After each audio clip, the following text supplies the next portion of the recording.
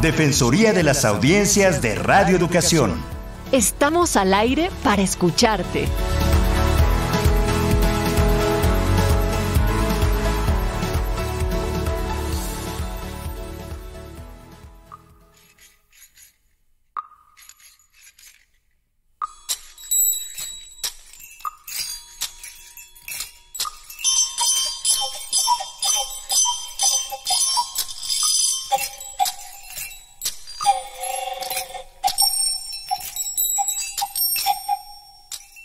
Con el placer de cada miércoles les damos la más cordial bienvenida a la Defensoría de las Audiencias de Radio Educación en este miércoles en el cual podemos platicar sobre programar la radio del futuro hoy también ahondar en las reflexiones de cómo se está haciendo a la radio y querer también tener sus opiniones en el trayecto, en esta conversación, como en todas las anteriores. Así es que les damos la bienvenida y les invitamos a que se pongan en contacto, ya que esta es una transmisión previamente grabada, pero podemos atenderlos a través del correo electrónico audienciasre arroba cultura.gov.mx. Mi nombre es Natalia Luna y como cada semana acompaño a la maestra Ana Cecilia Terrazas, quien es defensora de las audiencias de Radio Educación. Hola Ana Cecilia, qué gusto saludarte.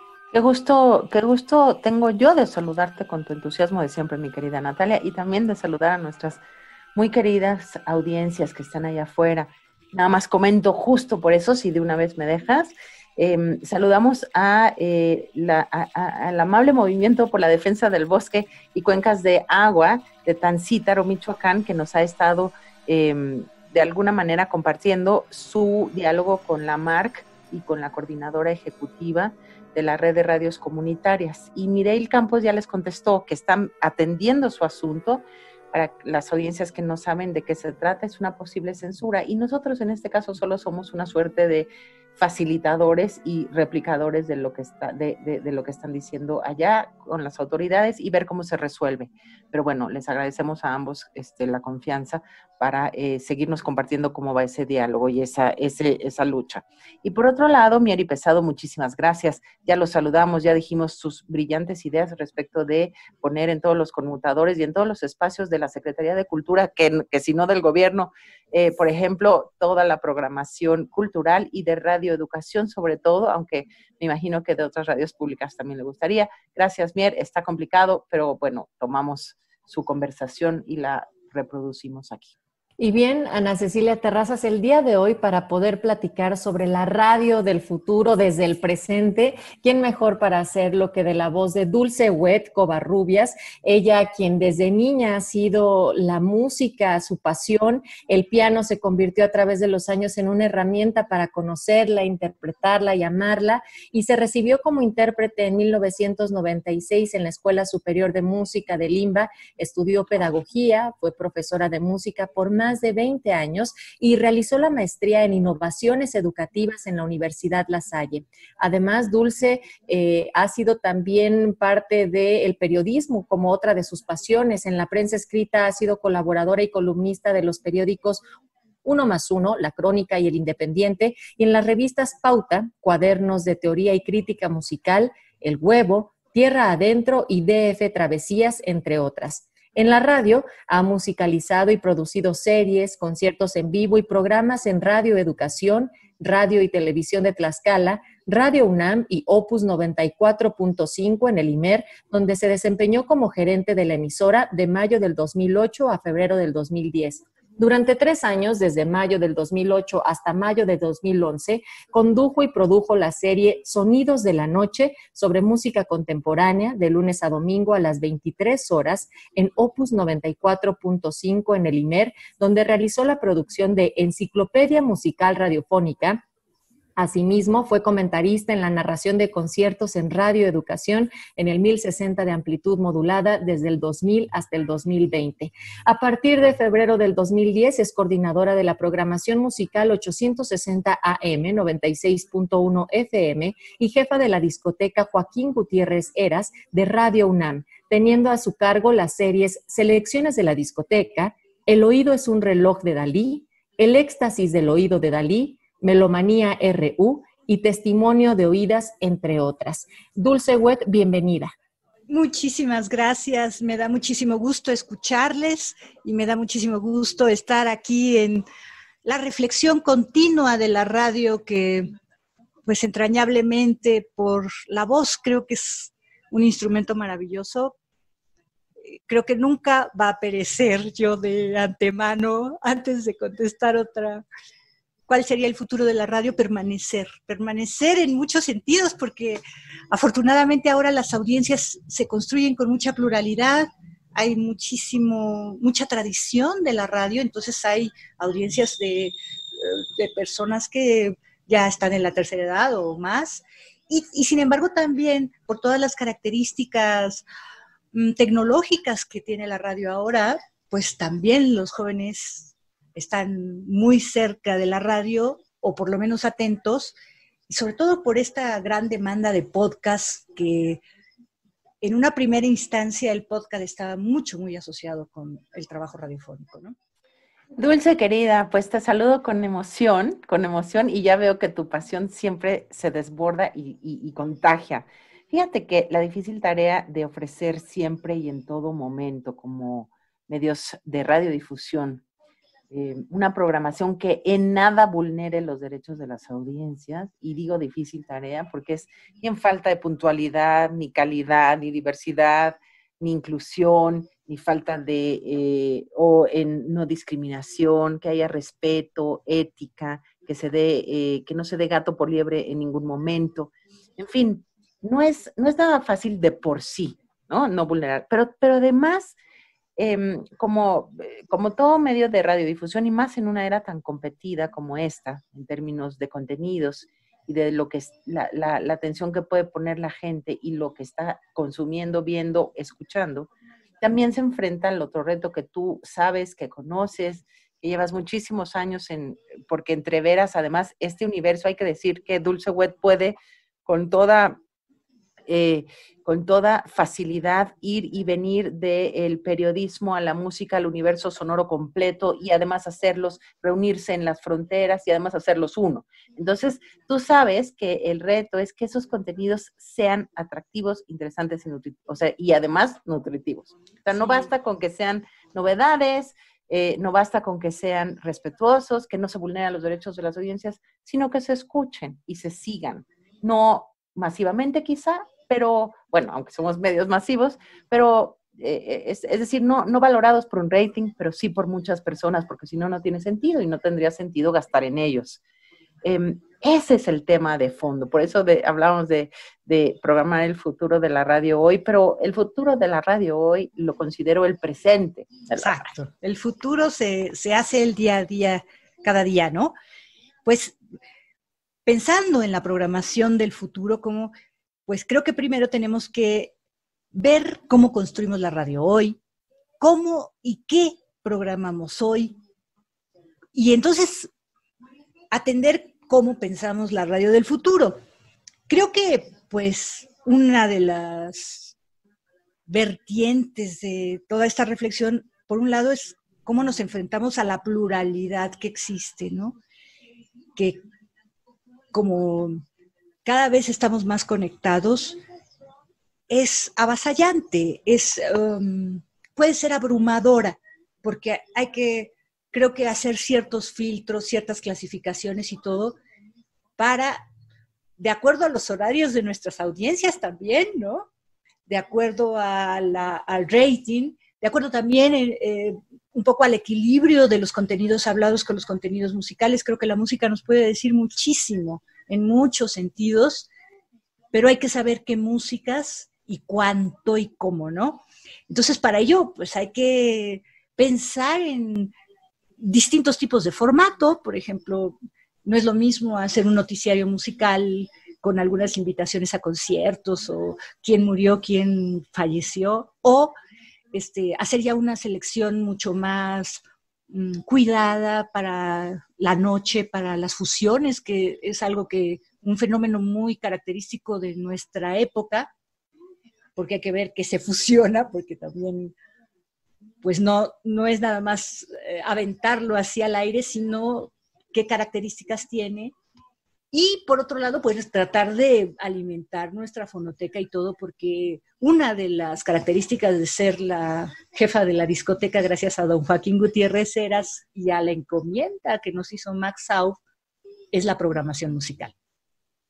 Entonces, en este departamento se decide qué se compra, qué se puede comprar, porque todavía estamos en el formato, por ejemplo, de CDs, de discos compactos, y, eh, y, este, y cómo se programa toda esa música nueva o esas diferentes producciones de distintos géneros. Tenemos que hablar, por ejemplo, de que no es lo mismo programar para niños que música para peques y para más grandes también tenemos una barra, o programar música del mundo y programar música electroacústica tiene mucho, eh, mucho chiste, pues, porque puede parecer que algo se está descomponiendo, entonces hay que, hay que ser como en dosis mínimas, por ejemplo, y espacios para la música también, en donde la audiencia, afortunadamente muchas de las audiencias son melómanas. ¿Qué quiere decir esto? Que aman la música en general.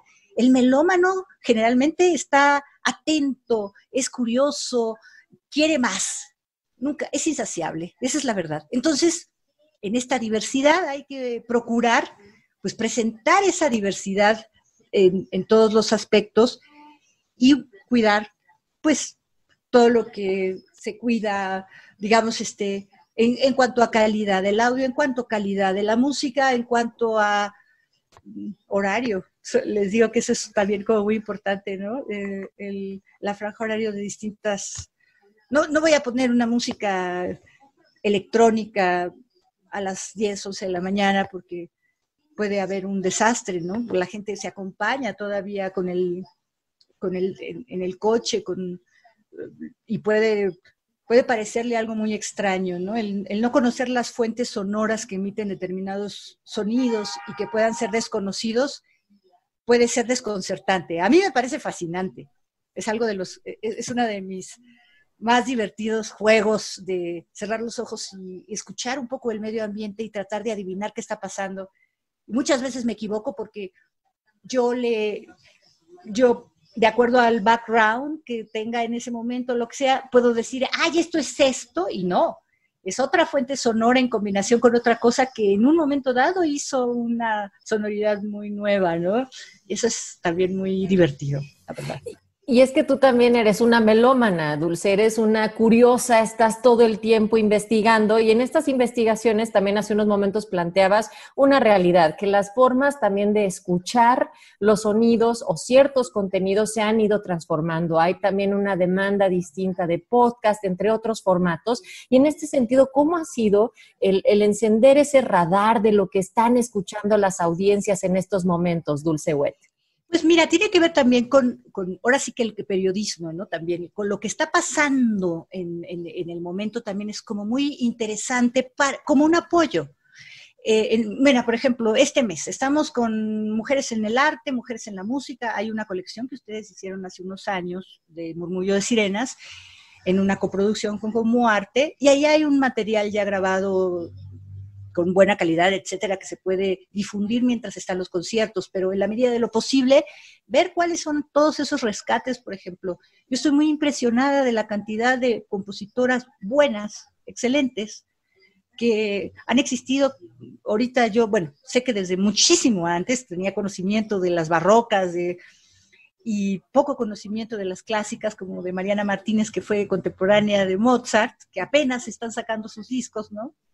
Es un aniversario también este año de, eh, digamos, su fallecimiento, se van a cumplir, creo que 265 años, algo así. Entonces, bueno, también va a ser como la gran novedad, pero pues todas las que ya se conocen del romanticismo y sobre todo las nuevas, las que están ahorita trabajando y entonces, bueno, tienes que estar como cerca de qué está sucediendo en nuestra en nuestra sociedad, en nuestra, digamos, cuál es la propuesta de Bellas Artes, cuál es la propuesta de la UNAM, cuál es la propuesta del CENART, eh, cuál es la propuesta de distintos grupos artísticos independientes, además de todas estas instituciones que ayudan, cubren, acogen y promueven las distintas músicas.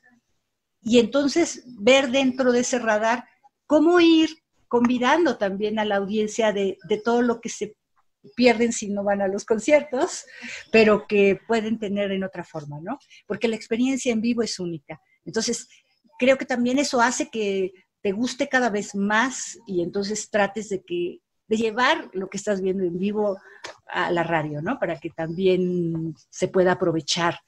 Esa, esa agenda es como un pendiente muy importante. Otro Ah, perdóname, perdóname. No, no, no, eh, dime. Es que decía, de, eso como por el lado mm, como muy actual. Otro hay que fortalecer como las distintas épocas dentro de la historia de la música y todo, para que el oído melómano se acostumbre a que no le den gato por liebre, a saber realmente cuándo una obra es buena, nueva, bien hecha, bien estructurada y todo, cuándo es una copia de alguno de nuestros grandes maestros, cuándo tiene influencias. Bueno, Juan Trigos, un gran compositor y director, me decía en una entrevista que los compositores son unos rateros profesionales maravillosos, pero que nadie nos debemos de dar cuenta bien, bien cómo hacen este, este juego de robarse las músicas de los distintos otros compositores. Mario Lavista, por ejemplo, recientemente fallecido en paz descanse, hablaba de que todos los músicos tenemos de alguna forma familiares dentro de la música. Él, por ejemplo, su papá es Debussy, pero es eh, clarísimo, ¿no? Pero también su abuelo puede ser, este, yo creo que eh, no sé, Guillaume de Machaut, ¿no? El compositor casi renacentista de la Edad Media, que hizo muchísimo y que además Mario, toda la música nueva que conocemos, que ya es indiscutiblemente un sello desde hace 30 años de cómo la usaba, pues tiene que ver con esas influencias y cómo se va construyendo. Entonces, creo que el melómano también tiene sus compositores favoritos, sus compositores entrañables, otros que va conociendo y que va eh, asimilando y que van entrando a la familia o se quedan como amigos nada más o como conocidos, ¿no? y pues eso ayuda muchísimo a que cada área, o sea, sobre todo ahora que estamos con la posibilidad de tanto contacto con tantas músicas de diferentes partes del mundo y de tantos estilos, formas, dotaciones, mm, edades, gustos, yo creo que también tenemos que como fortalecer las bases de, la música desde sus orígenes, desde la música antigua hasta todas las épocas y todo en alguna medida, porque eso va a enriquecer muchísimo la audición. ¿Qué piden las audiencias? Híjole, las audiencias piden lo que más les gusta. Entonces, es, a veces hay que darles de probar de todo, ¿no? Ahí es, ahí es donde entra una, una persona como Dulce Wet, déjame decirlo, porque muchas veces em, si te dan un platillo nuevo que sabe súper distinto y que no lo has podido saborear, generalmente hasta, hasta te disgusta, no solo no te gusta, sino te disgusta, porque como tú lo dijiste, hay que em, tener una suerte de oído educado, un paladar refinado para, la, para lo, lo sonoro y hay que aprender a escuchar de otra manera. Dulce lo que hace, y, me parece que lo hace en los lugares adecuados, que son los medios públicos, donde puedes atreverte a poner otra cosa y perder un poquito de audiencia o perder ganar, pero además donde tienes que buscar, pues no ofrecer lo, mismo que ofrecen los medios comerciales, nomás que sin, con menos recursos, ¿no? sino que justamente lo que tienes que buscar y explorar son estos, estos senderos no comerciales que eh, son importantísimos para la cultura y la, eh, digamos, la, em, la, la, salud este, cultural de toda una, de, una sociedad tan diversa y tan variada. Entonces, bueno, la, la, pregunta es, o más bien, aquí mi, mi, comentario va en favor de si no se contextualiza, explica y apasionadamente comenta esta novedad musical sonora, la verdad es que resulta una porquería inmunda e insufrible. Y dices, ¿por qué pegaron esto? Y como tú lo dices, a esta hora, ¿no?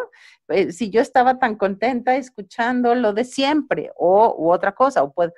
Entonces, eso es, eso es un reto un bastante complicado. Y por otro lado, también te quiero preguntar, o sea, primero, ¿cómo, cómo se le hace para eso? Porque algo súper nuevo tiene que venir con una explicación importante, una contextualización relevante.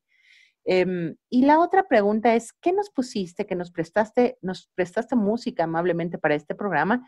¿Qué, qué, es las, qué son los pedacitos que, em, que tenías en mente compartir con, este programa, eh, son un minutito, pero eh, tanto en la entrada como en la salida, Dulce? Muy buena pregunta, porque en realidad como todavía estaba escogiendo un poco de qué podíamos hablar. Mira, yo creo que algo que va a ser muy bueno es poner algo que tenga que ver con las fusiones. ¿Por qué? Porque es una característica de nuestro tiempo, ¿no? Entonces creo que es música con fusiones va a ser muy buena. Pongamos algo de música con fusiones que sea mexicana, para que veamos un poco cómo, cómo se está eh, perfilando un poco eso a la entrada.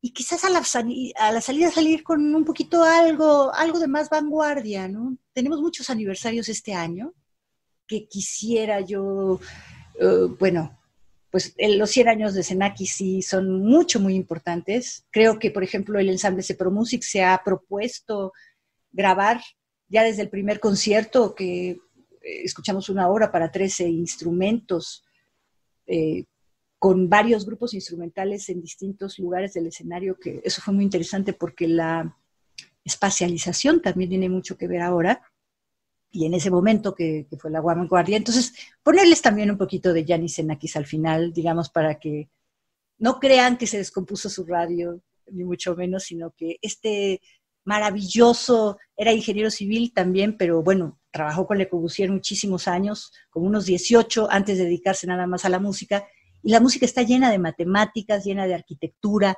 llena de eh, eh, fenómenos que él observaba de la naturaleza la lluvia, las parvadas de pájaros, los cúmenes de pescados y quería reproducirlos también. Dulce, y aquí también eh, con esta invitación a la escucha que tendremos durante este espacio, también quisiera hacer esta distinción que hay y que es muy marcada entre la manera de entender la cantidad y la calidad de audiencias entre un medio privado y entre los medios públicos. Entonces, desde tus espacios en donde tú has estado generando audiencias, también qué significa cultivarlas, eh, acrecentarlas, es que si es que esto es posible, y bien incitarlas a la escucha de una manera distinta, como ya lo planteaban a Cecilia. Mira, yo creo que, por ejemplo, para la programación, mm, y mm, digamos muchos años lo hicimos por distintas razones, yo creo que queríamos como sacudir a nuestras audiencias. Hacíamos ensaladas, decía yo. ¿Por qué digo que ensaladas? Porque había de todo, ¿no? Así como lechuga y, cebolla y de todo. Poníamos como un poquito de cada cosa y como, como una muestrita de cada cosa. Y creo que ahí hay un, cierto problema porque la pedacería tampoco te permite, em, bueno, conocer más cosas a profundidad y sobre todo creo que una de las maravillosas cosas de la escucha de la música que permite la radio es nuestra concentración en esos sonidos. O sea, tu cabeza es como una meditación en alguna forma. porque les voy a decir que no tienes que tener en tu cabeza otros pensamientos o, en todo caso observarlos y invitarles a salir, porque lo más importante es seguir la música, lo que está pasando en la música, ir como, como, si fuera con el intérprete, con cada nota con qué va pasando, con cada, y eso entonces requiere, pero puedes estar haciendo una cosa manual, puedes estar manejando, puedes estar en casa, en verdad, este, pues haciendo hasta el aseo, o, puedes, digamos, tener, esto se puede hacer de muchas formas. tenemos la maravillosa ventaja como seres humanos de que podemos escuchar al mismo tiempo de hacer otras cosas o ver al mismo tiempo que hacer otras cosas, pero la radio se escucha y con la escucha puedes llegar a muchos y profundos lados. Bien por Anacé, por esta, ese señalamiento de todas las músicas, sobre todo las nuevas, sobre todo las académicas, sobre todo las que tienen algo que explicar, hay que decirlo, hay que decir todo, hay que decir la dotación, la duración de la obra, un poquito, una guía auditiva, ¿qué nos vamos a enfrentar con una obra nueva, no? Otra cosa que es muy importante de lo que tú mencionabas, Natalia, creo que es, por ejemplo, tener, hacer barras. Yo quería hacer una radio como, como Radio France, como la Maison de la Musique, pero no tenemos tantas frecuencias. Y entonces dices, bueno, como no tengo la frecuencia, toda una frecuencia de FM, entonces voy a tratar de que, de jazz, por ejemplo, en FM, entonces voy a, voy a tratar de que una barra, además de la programática, pues del programa de AIMES, del panorama del jazz o lo que sea, no, eh, que a las 11 de la noche siempre haya jazz y que el radio escucha se, se, se acostumbre a escuchar jazz y dentro de esa programación de jazz puedes poner algo de lo conocido, pero sobre todo puede ser como mucho más insidioso en ir este, mostrando free jazz, el jazz experimental, el que tiene que ver más también con, lo cercano de la música clásica, ¿no? De, las muchos buenos improvisadores pianistas tienen una gran formación clásica dentro del jazz, entonces eh, digamos que y manteniendo las barras, la gente va a ir, haz de cuenta, hablando del jazz, va a ir a las 11 de la noche a escuchar jazz, pero nunca va a ser el mismo, no, no va a ser el mismo. Entonces va a ir conociendo cosas y si le dan la información, ahí va a estar encima de eso, disfrutando y, percibiendo qué, qué, está pasando ahora, ¿no? Este, ayuda muchísimo también las efemérides, los, los cumpleaños, eh, los pretextos de los conciertos y todo. No te alcanza la radio para hacer todas las barras que se requieren, de veras. Claro, y hasta podrían ser, bueno, ya quiero irme contigo a hacer unas barras, porque hasta podría ser temática, ¿no? La curaduría podría ser a partir, por ejemplo, ahorita la guerra, ¿no? Sí, este, bueno, por una de las cosas. Sí. Pienso en Steven Reich y y la guerra y lo, ¿no? Y, y, toda esta parte de los trenes y bueno, pues creo que se nos está acabando, ya nos, o Natalia? El gran Revsky que murió el año pasado, eh, este compositor norteamericano que siempre tenía, hizo las variaciones del pueblo unido, jamás era vecino, al tipo de las variaciones de Diabelli. Tiene, por ejemplo, una pieza que a mí me conmovió muchísimo que se llama Hungry Child, y que es como Dios diciendo, yo no hice el mundo para ti, niño hambriento, lo hice para los magnates que tienen dinero y están viviendo. Te contrapropongo, Dulce, pongamos un fragmentito de esto que acabas de decir al final y que, y que, nuestras audiencias busquen, porque también hay que ser autodidactas, a, a, a Senakis, ¿no? a y que lo escuchen.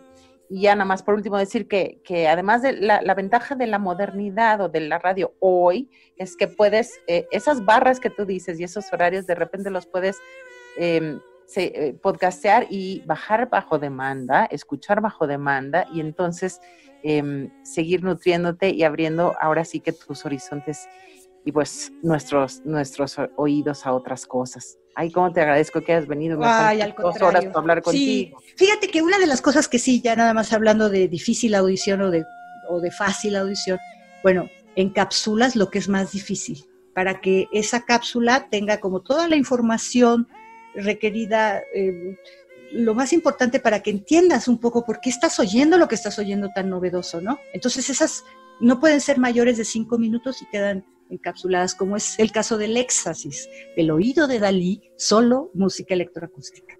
Dulce Wet, siempre es un placer hablar escuchar y ver música contigo y esperamos que podamos reencontrarnos muy pronto. Mientras tanto, nos, eh, pues nos convoca el poder estar en este espacio el próximo miércoles a las 17 horas en la Defensoría de las Audiencias. Les invitamos a que nos escriban a nuestro correo audienciasre.cultura.gov.mx. Ahí les leemos y nos despedimos a nombre de todo este equipo. Estuvimos Mari Carmen García, Alma Lilia Martínez, José Ángel Domínguez, Ana Cecilia Terrazas, su servidora Natalia Luna en una producción de Mario Ledesma.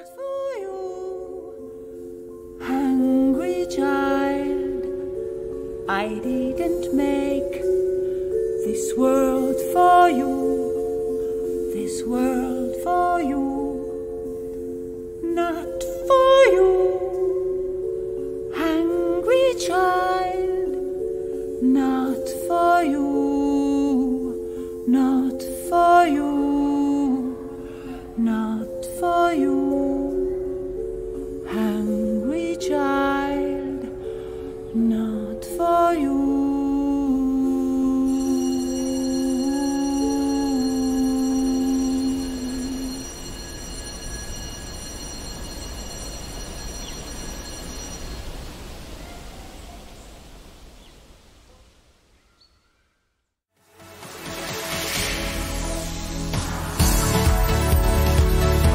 Defensoría de las Audiencias de Radio Educación. Estamos al aire para escucharte.